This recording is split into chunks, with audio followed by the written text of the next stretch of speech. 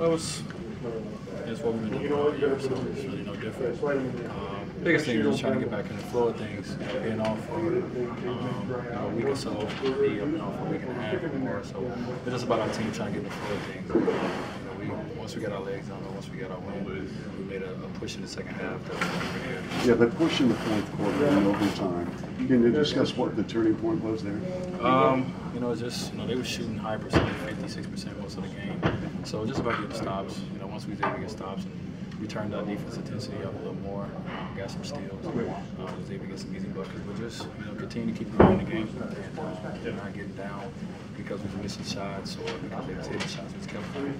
How big were Nico and Valentine to you? Well, the first a lot of times was making shots Um, Nico as well. So those guys got opportunity tonight. They took advantage of it for sure. They played good games. Um, for us, that's what we're gonna need. You know, guys to, to be confident themselves, shoot the ball. Um, and it can be different guys on different nights. Uh, Valentine really nice. Dwyane, uh, win's a win, but what kind of lift is getting a win like tonight, starting the quote unquote second half? Yeah, it's good. You know, three games in a row. Uh, found a way to win. And uh, that's what this team is all about. You know, so you know, obviously got a tough back-to-back tomorrow um, against the best team in the East. But um, tonight was about taking care of this game, so was able to.